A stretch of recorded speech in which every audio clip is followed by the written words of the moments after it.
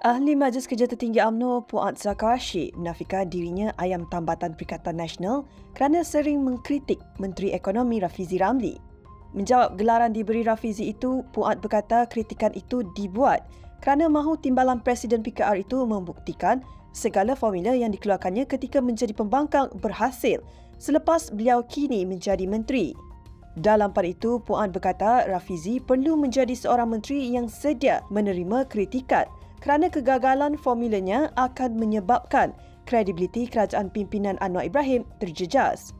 Adun Ringit itu mengulas kenyataan Rafizi di media sosial yang menamakan beliau bekas Ketua Penerangan UMNO Isham Jalil dan pempengaruh media sosial Lim Sian Si sebagai ayam tambatan PN kerana sering menyerang beliau serta kerajaan sedangkan menjadi penyokong kuat Najib dari UMNO yang juga sebahagian parti kerajaan perpaduan.